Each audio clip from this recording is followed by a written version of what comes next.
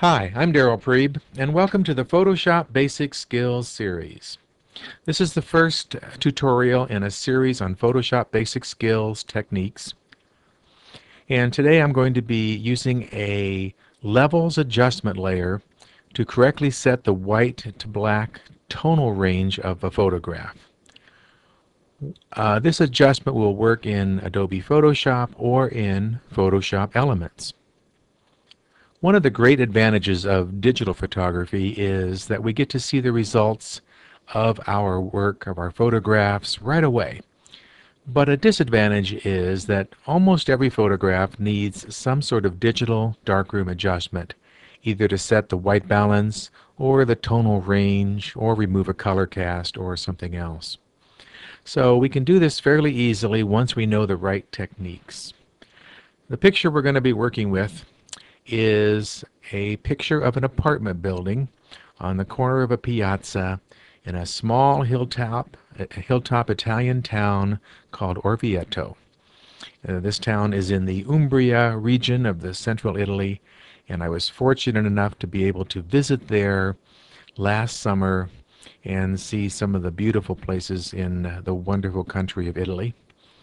So this uh, picture, if you look at it, you'll see it has a rather pleasing composition, but the tonal range I would describe as more muted or flat.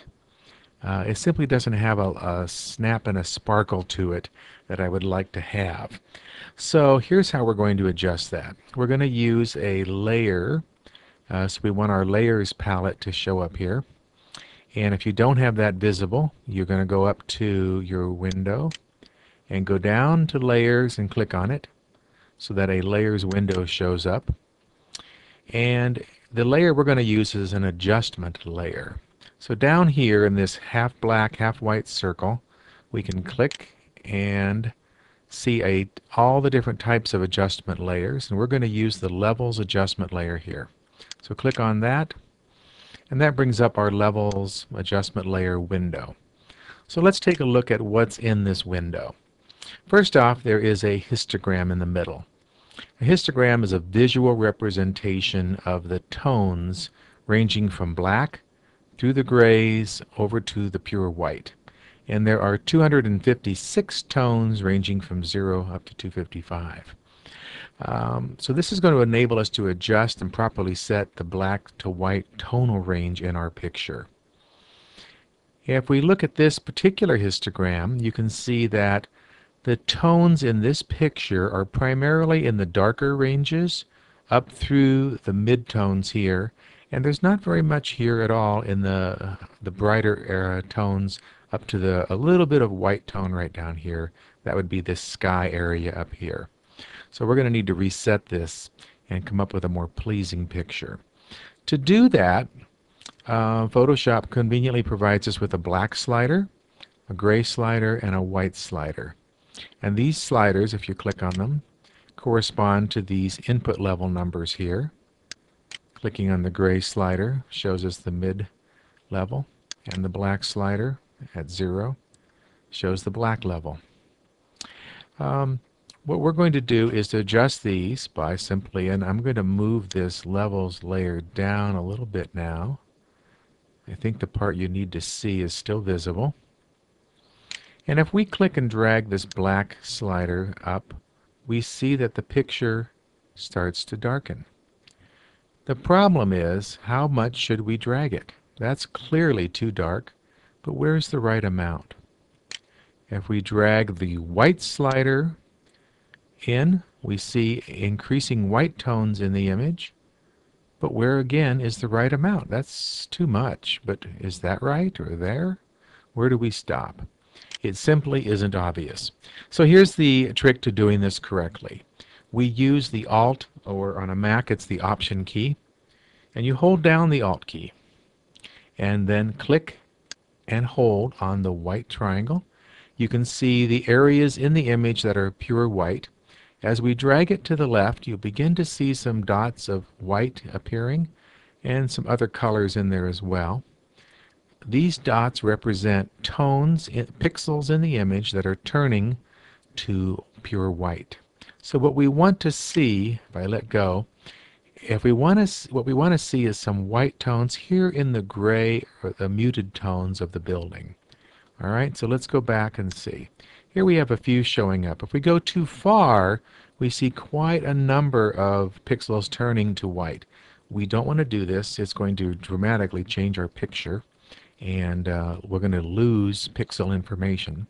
What we want to see is just a few of the tones in the center area. There we go. Turning white. And that's going to give us some white highlights here throughout our image. All right. Now we're going to do the same thing with the black slider. First you press and hold the Alt or Option key. You left click on the black slider and slowly move it to the right. Now very quickly you see an awful lot of pixels showing up.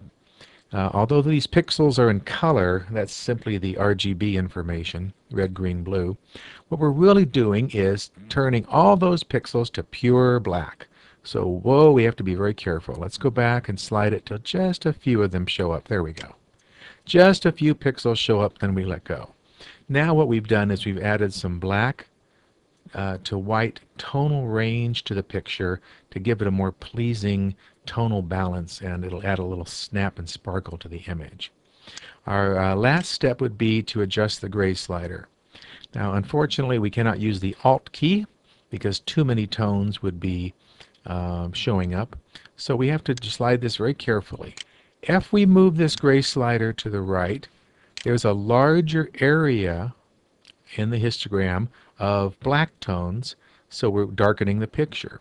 If we slide it to the left, there's a larger area over here of tones that are mid-tone up to white, so the picture gets lighter. And uh, here is our numerical setting. Remember, 1 is the midpoint we started at. And so we want to make our picture slightly lighter, maybe about 104, just to give it a little lightening overall. You want to make very small changes, and remember these are powerful changes. So let's click OK. Now, we have used an adjustment layer, so there's some terrific advantages to doing that. Uh, the first is we can simply, if we don't like what we've done, we can take our adjustment layer, click, drag it into the trash can, and it is gone. Now, we actually liked what we did, so we're going to bring it back. But we certainly can eliminate uh, an adjustment layer if we don't like what we've done. We can see the benefit of what we've accomplished by turning off the visibility button. Now we're seeing the picture as it originally was, unretouched. Turning on the adjustment layer, and we can see we've added a nicer tonal range to the image. If we don't like the amount of tonal change we've made, we can double click on this little black and white adjustment layer icon. Double clicking brings back our levels adjustment layer and we can readjust any levels we would like to. But I like what we have so far so I'm going to click cancel.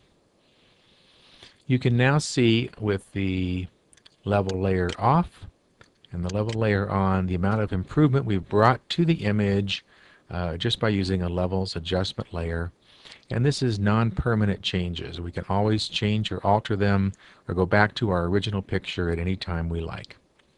That concludes this tutorial on using a levels adjustment layer in Photoshop.